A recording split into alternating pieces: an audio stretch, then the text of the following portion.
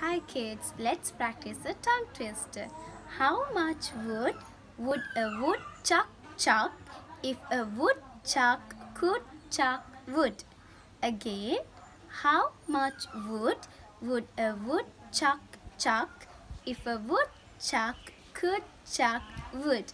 Again, how much wood would a woodchuck chuck if a woodchuck could chuck wood? Now it's your turn.